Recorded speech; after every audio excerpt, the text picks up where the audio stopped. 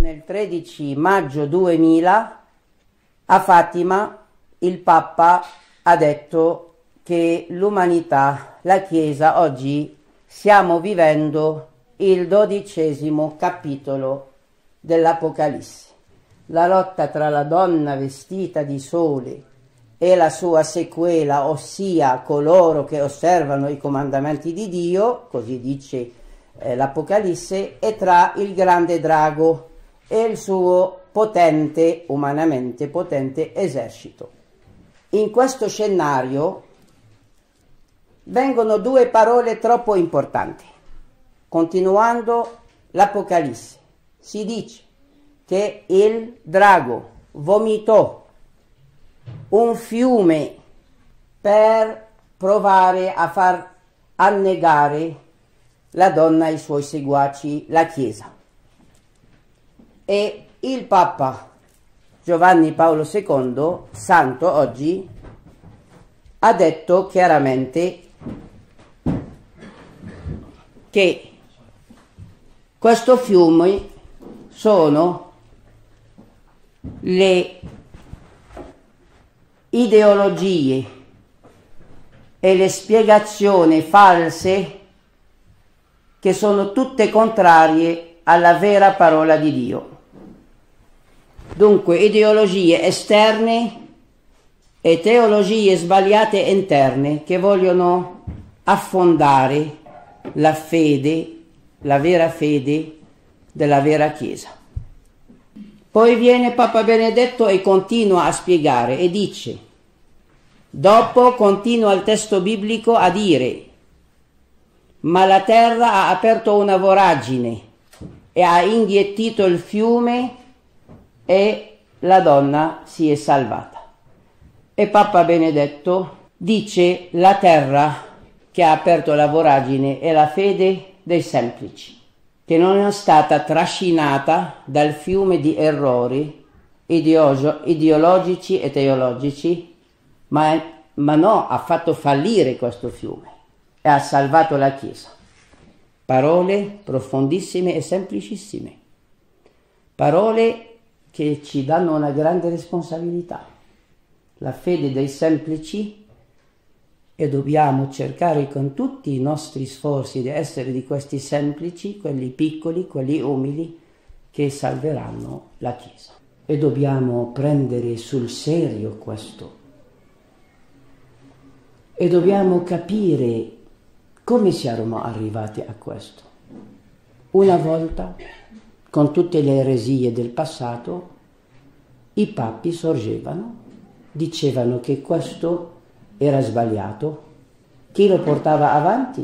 Patriarca, vescovo, sacerdote, Ario, Nestorio, non so chi, o si ravvedeva o faceva obbedienza o era scomunicato, messo fuori con tutta la sua teoria come eresia e continuava la Chiesa a essere una, una sola dottrina, santa, santa nel suo insegnamento, dentro ci sono persone anche peccatori che fanno fatica a mettere in pratica, però provano. E quando non provano più e sono fuori della verità e in peccato non fanno più per il momento parte della Chiesa, dunque ne rimane santa. Quando si confessano, si ravvedano, ritornano nella Chiesa santa, anche se sono peccatori deboli. Allora come, come si è potuto infiltrare questa dottrina falsa. Vediamo un po' come si è infiltrata questa apostasia di dentro. È diventata dentro la Chiesa cattolica una falsa Chiesa. E vediamo a che punto siamo.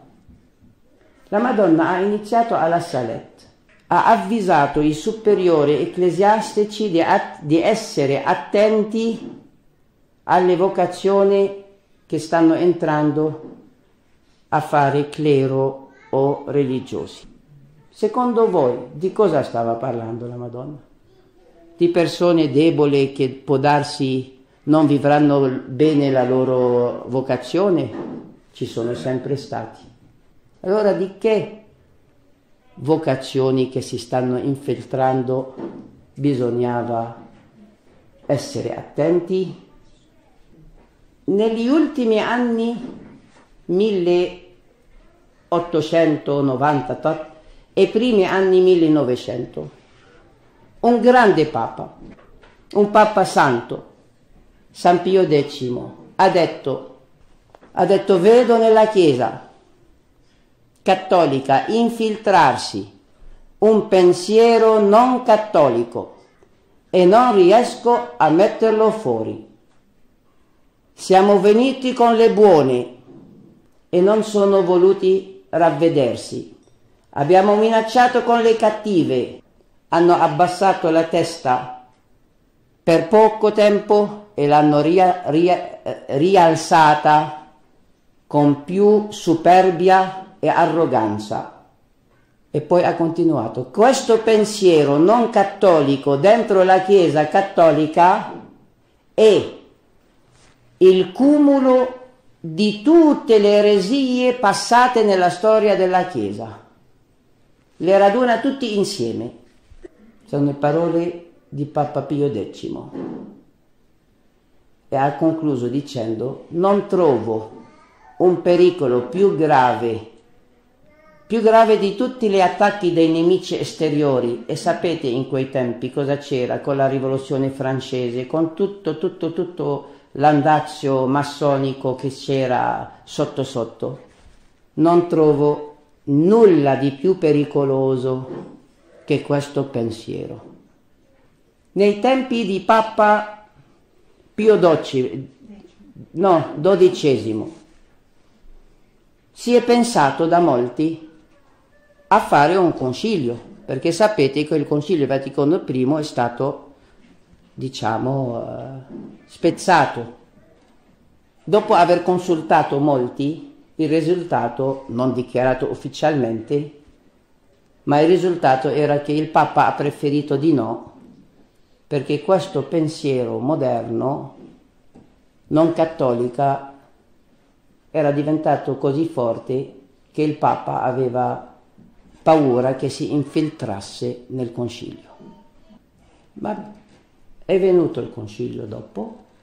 Papa Paolo VI, il Papa, possiamo dire il Papa del concilio, dopo il concilio cosa ha detto? Aspettavamo, aspettavamo una primavera, invece abbiamo visto nell'orizzonte un, delle nuvole nere che minacciano una tempesta proprio di quelle brutte brutte. E poi cosa ha detto?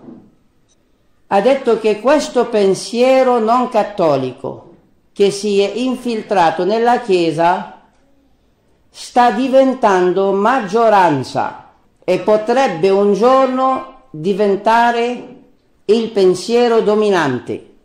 E ha gridato a quel momento, sento il fumo di Satana che è entrato nella Chiesa cattolica.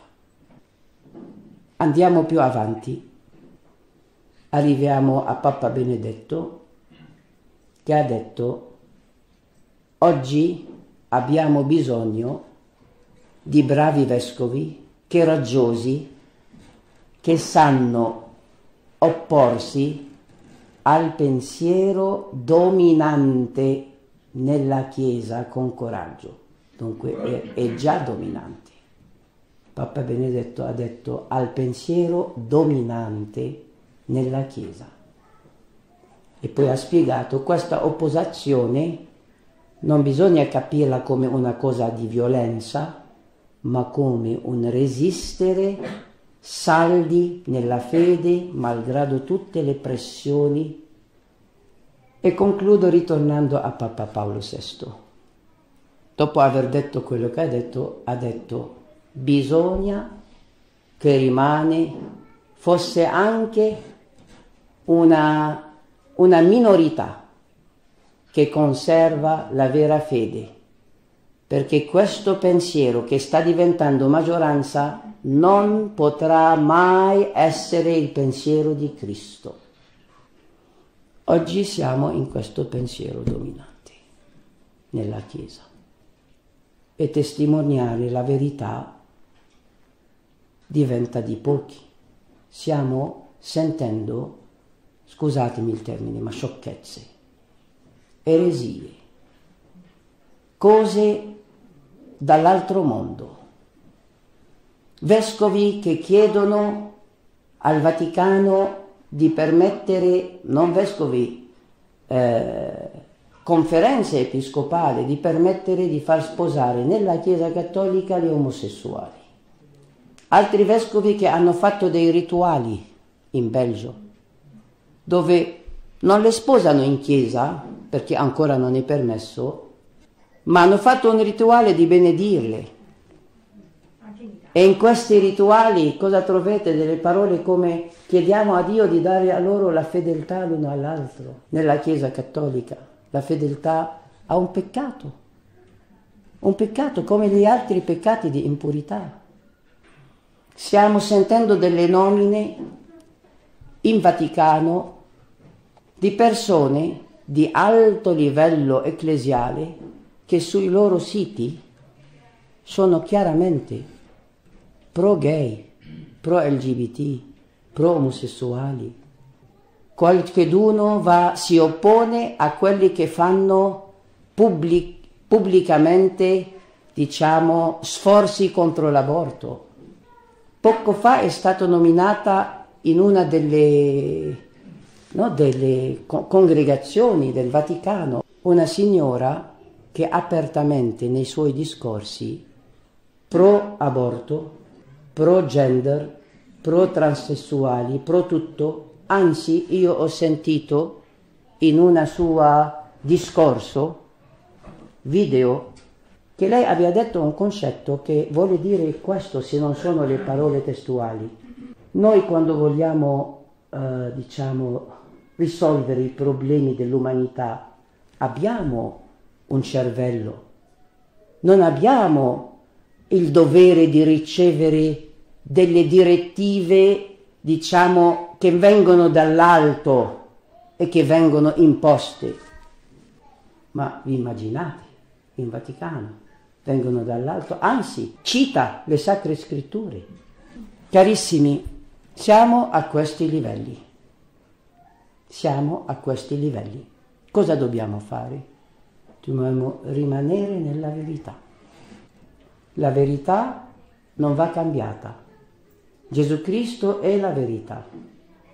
Gesù Cristo è lo stesso ieri, oggi e, se- e-, e sempre. Qualsiasi cambiamento che contraddisce quello che era già stabilito come dogma o dottrina certa nella Chiesa è un'eresia, venga da chiunque venga, nessuno ha il diritto, né Papa, né Vescovo, né concili, né eh, conferenze episcopali possono emanare nuove direttive o dottrine che sono contraddittorie con quello che veniva prima. Con questo concetto di verità rimaniamo nella verità. C'è stata una grande confusione tanti anni fa in Libano. Alla fine sono andato dal vescovo, dal nunzio apostolico nel Libano, che era italiano, non è più adesso lui. E gli ho detto, ma lei vede questa confusione? sui tv, anche cattolici, su chi contraddisce, chi dice questo, chi dice l'altro. E come, come do, eh, deve venire fuori la verità? Eccellenza. Io sono una persona che ha anche molte persone sotto la sua responsabilità davanti a Dio. Io vengo dal nuncio apostolico, voglio una risposta. E lui, evitando di entrare diciamo, nei dettagli, perché c'erano esempi concreti, punti concreti sul quali si dibatteva e c'erano tante voci non cattoliche di questo pensiero non cattolico e davano loro di uscire sulle tv mentre le voci cattoliche dovevano uscire sul whatsapp. E cosa mi ha risposto alla fine? Ha detto fratello, quando c'è confusione si ritorna alla tradizione si ritorna ai concili. Non può essere vero una cosa che contraddisce quello che è già, già sta, stato stabilito prima. Per amor di Dio, non pensare che sia orgoglio da parte mia, ma io la conoscevo questa cosa, però dovevo sentirla da lui. Ed è tutt'altro dire che viene dal nunzio apostolico questa risposta che da Fra Emanuele. Qui si rimane nella verità, carissimi. Guai a lasciarci trascinare nell'errore. L'errore ci fa perdere la fede, diventiamo senza fede, diventiamo fannulloni anche nella preghiera perché non c'è vita, non c'è fede, non c'è Spirito Santo più in noi. Perdiamo la speranza anche se preghiamo, preghiamo senza speranza. Ma che Dio che ascolterà delle preghiere senza speranza? La preghiera può cambiare tutto. Dio è onnipotente. Ci mette alla prova. Certe volte è il peso dei peccati che, che impedisce certe cose. Bisogna insistere, bisogna insistere, ma insistere con fede, con speranza, non con musi tristi come se non c'è niente da fare. Ma certo che c'è da fare. La Madonna può rovesciare tutto e lo vuole fare e vuole delle persone che ci credono e che pregano. Così dobbiamo pregare. La Madonna nel libro azzurro dei messaggi del movimento sacerdotale mariano dice uno delle trappole più insidiose del mio avversario è di far credere come se controlla tutto, come se ha vinto tutto, come se non c'è più niente da fare. È una tattica molto insidiosa che affrontiamo con la fede, con la speranza e specialmente con la convinzione della forza che può diventare onnipotente della preghiera e del sacrificio. Tutti questi discorsi che stiamo facendo puntano a qualcosa. In questi tre anni c'è stato un attacco del nemico che ha voluto disgregare questa catena di preghiera che la Madonna sta facendo e stava facendo in tutto il mondo. La Madonna è discesa per radunare il suo esercito, c'è stata una grande forza per disgregare l'esercito e noi dobbiamo ricostruirlo. E non si può ricostruirlo se non triamo nel capire Qual è la battaglia? Chi è il nemico? È la battaglia escatologica dal quale parlava il Vangelo. Gesù ha detto di questa battaglia né prima né dopo ci sarà qualcosa di così disastroso. Di questa, però dopo ci sarà un'era di fede mai vista. Chiarissimo. Però noi siamo dentro. Adesso è la lotta. Adesso bisogna riformare questi gruppi di preghiera. Sono l'artiglieria nella battaglia. Che esercito può attaccare? Perché dobbiamo attaccare, non solo difendere. Dobbiamo avere la fede di attaccare, di dire al falso insegnamento stai zitto e quelli che sono di Dio capiranno quelli che non vogliono capire, non c'è peggio di colui che non vuol vedere, non c'è più cieco di colui che non vuol vedere. Carissimi. Ma se tacciamo, ci sono quelli che vogliono vedere, ma che non viene la luce, detta né bene né fortemente. Dunque, carissimi, siamo in un momento di tenebre grandissimo, grandissimo attacchiamoci, stringiamoci a Cristo verità, Cristo luce, Cristo che, non, che è lo stesso ieri, oggi e sempre. Preghiamo che ci siano santi pastori, bravi pastori. È, è una cosa essenziale, carissimi. Papa Benedetto l'ha detto, bisogna avere vescovi che hanno il coraggio di opporsi al pensiero dominante. Se non le appoggiamo con la preghiera, da dove verranno fuori? Bisogna chiedere con insistenza, con la preghiera. Chiedetevi sarà dato.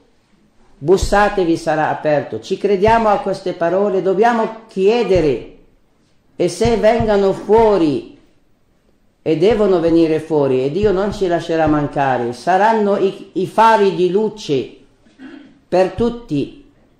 Dunque concludiamo ringraziando la Madonna e ritornando, io non posso che ritornare alla Madre della Chiesa, la Mamma Celeste, che vede tutto, lo vedeva già. Rileggiamo tutti i suoi, diciamo, eh, apparizioni, messaggi, quelli soprattutto approvati della Chiesa. La Madonna nel libro azzurro ripete tante volte una delle più grandi cause della perdita di tante persone, della perdita di fede e anche di pastori è il non aver preso sul serio i miei messaggi. La Madonna, secondo voi, quella figlia di Dio, capolavoro di Dio, in tutto, obbediente, umile, tutto, adesso secondo voi scappa dal cielo a fare la propria volontà, a raccontarci storie?